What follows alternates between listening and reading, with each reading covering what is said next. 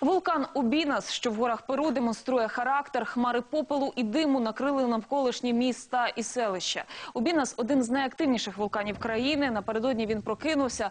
Були зафіксовані одразу кілька вибухів. Перевірити, наскільки небезпечна ситуація, прилетів президент Перу. На вертольоті оглянув місцевість, потім поспілкувався з мешканцями і особисто роздав їм захисні маски. Перу постійно переживає виверження вулканів. Нам просто потрібно уважно стежити, наскільки сильне виверження. В разі небезпеки ми евакуюємо населення.